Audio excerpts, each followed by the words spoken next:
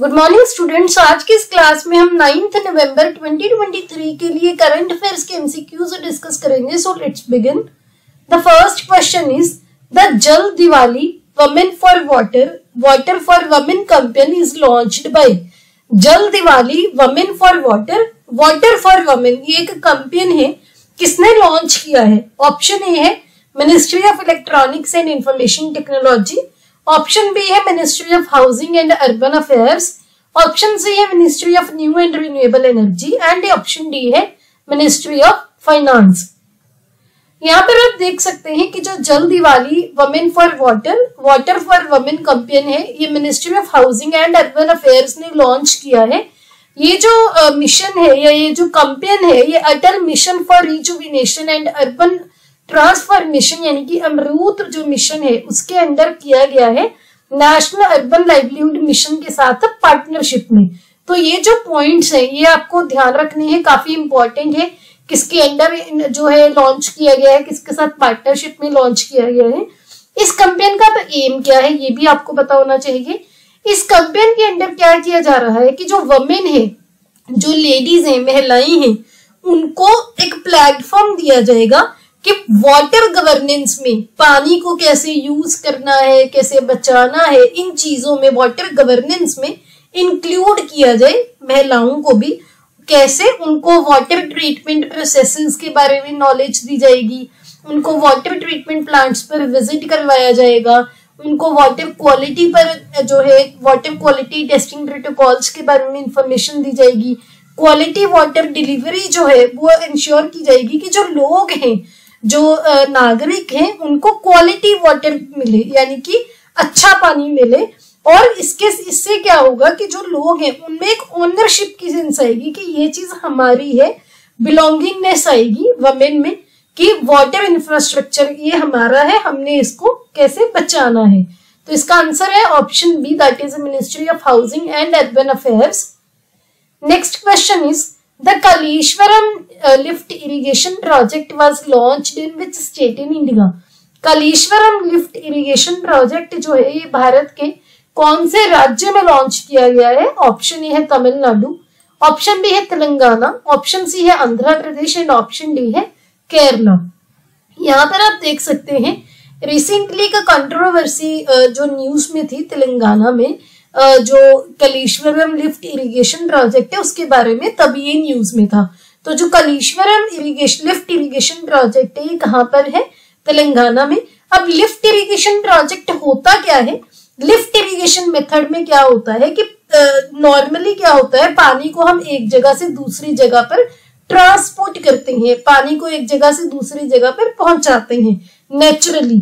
एक फ्लो की हेल्प से, नेचुरल फ्लो की हेल्प से लेकिन इसमें क्या होगा कि जो एनिमल है फ्यूल बेस्ड है इलेक्ट्रिक पावर या कोई पंप वगैरह यूज़ करके हम क्या करेंगे? आ, आ, पानी को आ, आप बोल सकते हो एक्सटर्नल एनर्जी को यूज़ करके हम पानी को ट्रांसपोर्ट करवाएँगे। जो कलेश्वरम लिफ्ट इरिगेशन प्रोजेक्ट है ये दुनिया का सबसे बड़ा मल्टीपर्पज इरिगेशन प्रोजेक्ट है। किस नदी पर है? गोदावरी नदी पर। यह पॉइंट ज़रूर ध्यान रखना है तेलंगाना के कलेश्वरम नाम की जगह पर। ये क्या है? पीने के लिए, सिंचाई के लिए पानी जो है प्रोवाइड करता है।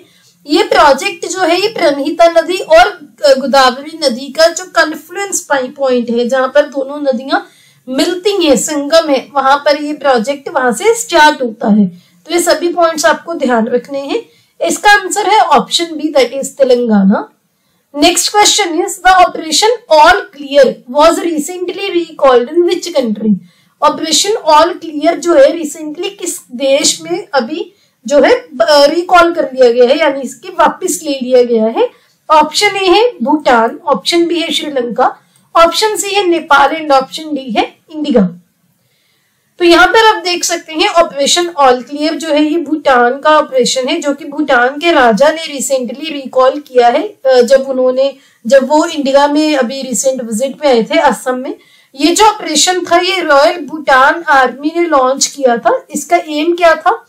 कि जो भी असम से कोई जो लोग रिबेलियन रिबेलियंस होते हैं, जो प्रोटेक्ट करते हैं, किसी चीज़ को अपोज करते हैं, उनको रिमूव करना जैसे कि united liberation front of Asom and national democratic front of Bodoland तो इनको रिमूव करना, ये इसका एम था। रॉयल भूटान आर्मी का था, लेकिन अभी जब भूटान के राजा इंडिया में आए थे असम में, तब उन्होंने जो ऑपरेशन है, ये वापस ले लिया है, बंद कर दिया है। तो इसका आंसर है option A that is Bhutan, क्योंकि ये इंडिया के विज़िट की टाइम हुआ है इंपॉर्टेंट है, ध्यान में रखना है।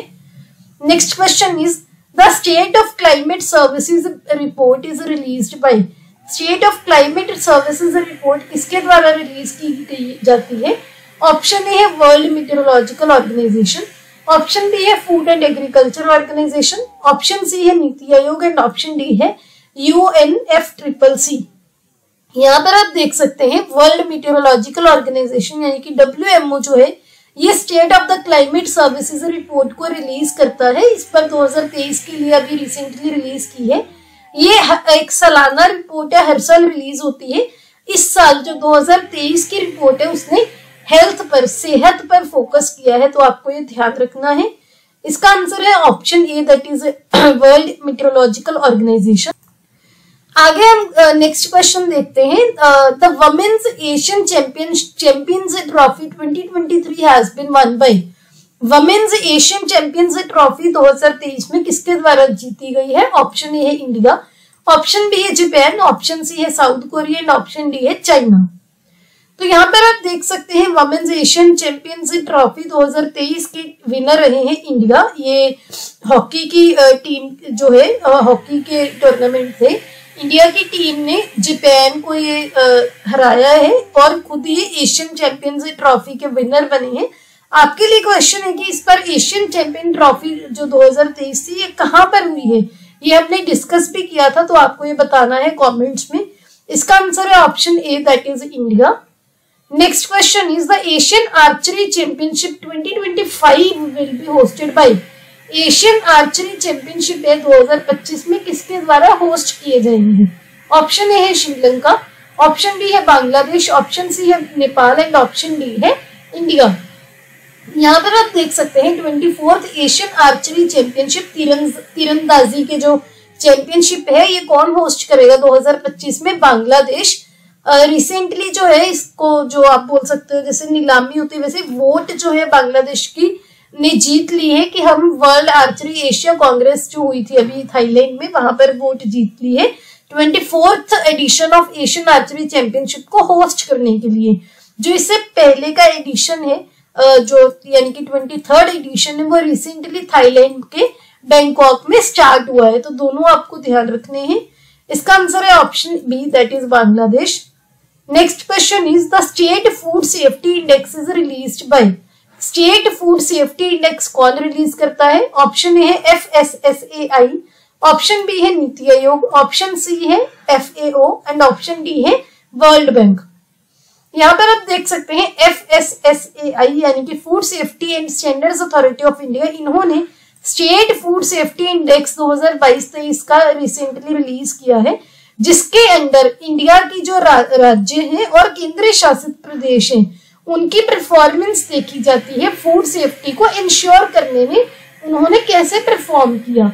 जो अभी का लेटेस्ट इंडेक्स है इसने एक नया पैरामीटर भी इंट्रोड्यूस किया है जिसका नाम है improvement in F S S F S I rank इसमें क्या है कि जो पहले वाले पैरामीटर्स थे उनकी जो वेटेज है वो चेंज की है। और स्टेट्स की जो प्रोग्रेस है पिछले कुछ सालों में, उस पर भी जो है रोशनी डाली है, यानी कि उस पर जानकारी दी है। तो इसके अकॉर्डिंग आपको पता होना चाहिए कि रैंक वन रहा है तमिलनाडु का रैंक टू रहा है गुजरात का रैंक थ्री रहा है महाराष्ट्र का। तो तमिलनाडु जो है इसने टॉप किया है लार्ज स्टेट्स में। Fourth state food safety index के अकॉर्डिंग जो कि F S S A I जो है रिलीज़ करता है।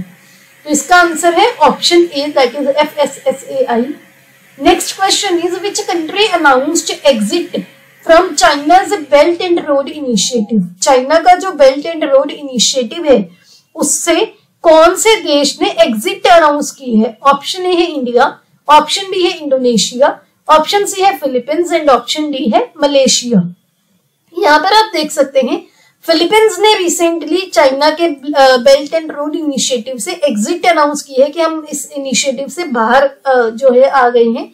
बेल्ट एंड रोड इनिशिएटिव जो है, ये चाइना में जाना जाता है as a one belt one road के नाम से एक ग्लोबल इंफ्रास्ट्रक्चर डेवलपमेंट स्ट्रेटेजी है, यानी कि पूरी दुनिया में इसके अंडर चाइना क्या कर रहा है इंफ्रास्ट्रक्चर डेवलप कर रहा है। 2013 में ये स्टार्ट हुआ था। 150 से भी ज़्यादा देशों में और इंटरनेशनल ऑर्गेनाइजेशन में इन्वेस्ट करने के लिए। अगर फुल टर्मिनेशन की बात करें मेजर इंफ्रास्ट्रक्चर प्रोजेक्ट की under the belt and road initiative ये फिलिपिन के डिपार्टमेंट ऑफ़ ट्रांसपोर्टेशन ने अनाउंस किया है। तो इसका आंसर है option C that is Philippines next question is the fifth meeting of conference of parties COP five to Minamata convention is recently held in Minamata convention की COP five जो है recently कहाँ पर हुई है? ऑप्शन ए है India option B है Switzerland option C है यूएसए एंड ऑप्शन डी है यूके यहाँ पर आप देख सकते हैं मीनामेटा कन्वेंशन ऑन मर्क्यूरी जो है ये 2013 में अडॉप्ट की गई थी। पहली global legally binding legally binding है कि अगर आपने ये कन्वेंशन अडॉप्ट की तो आप लीगली तौर पर जो है बाइंड है कि आपको ये चीज़ें इंप्लीमेंट करनी है। इसमें क्या है इंसान की हेल्थ और इन्वायरमेंट को मर्क्यूरी के जो एडवर्स इफेक्ट्स है, उससे बचाता है इस कन्वेंशन के अंदर। इसकी फिफ्थ मीटिंग जो है रिसेंटली स्विट्जरलैंड के जिनेवा में हुई है। मर्क्यूरी जो है इसके नर्वस सिस्टम पर थायराइड पर किडनीज पर लंग्स पर इम्यून सिस्टम आईज स्किन इन पर एडवर्स टॉक्सिक इफ़ेक्ट है, यानी कि जहरीले इफेक्ट्स हैं। तो ये आपको ध्यान रखना है, इसका आंसर है option B that is Switzerland next question is the Krishi 24 by 7 has been developed by Department of Agriculture and Farmers Welfare in collaboration with कृषि 24 by 7 जो है ये department of agriculture and farmers welfare ने किसके साथ collaboration में develop किए हैं? ऑप्शन ए है माइक्रोसॉफ्ट ऑप्शन बी है गूगल ऑप्शन सी है मीटा एंड ऑप्शन डी है नीति आयोग यहाँ पर आप देख सकते हैं कृषि 24 फोर बाय सेवन जो है ये पहला आर्टिफिशियल इंटेलिजेंट पावर्ड सोल्यूशन है किसके लिए? Automated agricultural news monitoring and analysis के लिए। यानी कि ऑटोमेटिक लेवल पर ये करेगा। एग्रीकल्चर से रिलेटेड जो न्यूज़ है, उनको मॉनिटर करेगा, उनको एनालिसिस करेगा। Department of agriculture and farmers welfare ने गूगल के साथ और एक एनजीओ के साथ कोलेबोरेशन किया है, Krishi twenty four by seven को डेवलप करने के लिए। तो इसका आंसर है option B that is Google ये हमारे सोशल मीडिया के यूज़र नेम है लिंक आपको डिस्क्रिप्शन में मिल जाएँगे, आप हमें यहाँ पर ज्वाइन कर सकते हैं अगर आपको ये वीडियो अच्छी लगी please hit the like button अपने दोस्तों को इस वीडियो को शेयर कीजिए Don't forget to subscribe to my channel. See you tomorrow at 8 o'clock. Have a nice day.